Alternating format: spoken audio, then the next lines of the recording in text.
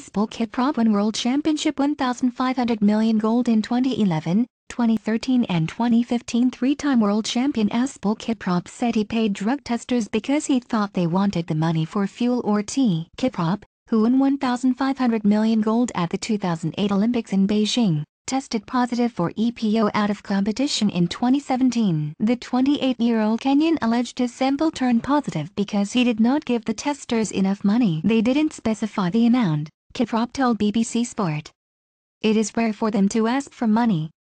To me, I could trust them. It didn't even come into my mind that I was in a sensitive position.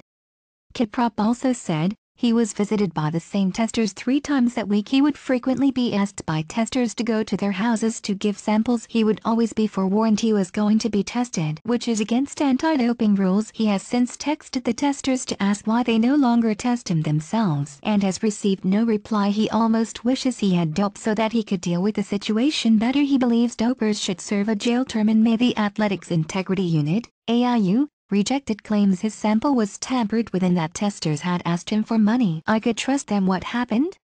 Kiprop was tested on November 27, 2017 in Iten, Kenya, having been told the previous night that doping control officers would be visiting. Although that is against protocol, Kiprop said he did not take it as something serious because it had happened before. The AIU said Kiprop's sample was not tampered with but said it is extremely disappointing he was given advance notice of the test. He alleges a doping control officer, one of two present, asked for money before he had given a urine sample. After supplying his sample, he left it unattended with the testers while he went to his bedroom to get his mobile phone through which he paid them via electronic transfer. I have never violated the anti-doping rules or tried to avoid the testers because I am sincere to myself and I support anti-doping, Kiprop said. I never even doubted myself.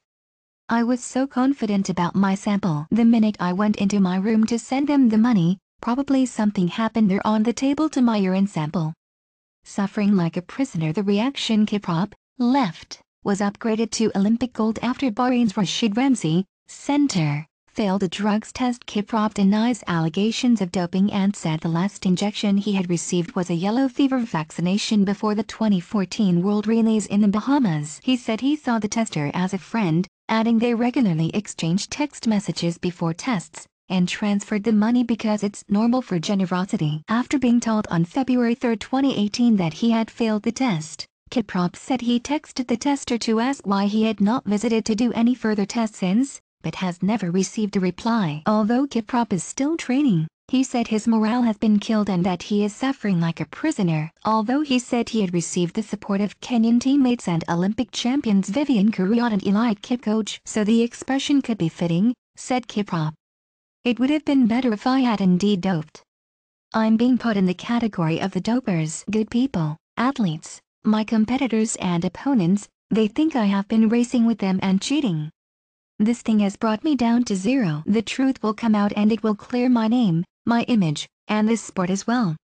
Dopers should serve a jail term the future Kiprop originally second in the 1500 m final at the 2008 Olympics, was upgraded to gold when Bahrain's Rashid Ramzi failed a drugs test. He said he remains a fierce supporter of anti-doping, and regrets leaving his sample unattended with the testers. I am repeating what I said in 2015-16 when I said that doping should be criminalized in Kenya, he said. Whoever is found guilty of committing a doping offense should not only be banned for four years but should also serve a jail term. I have always stood vocal in the fight against doping and I am still standing. I have not disgraced my fans. I have not disgraced the IOC. I have not disgraced the IAAF. I have not disgraced my father. I have not disgraced the people that made me who I am today and of course the sport in general.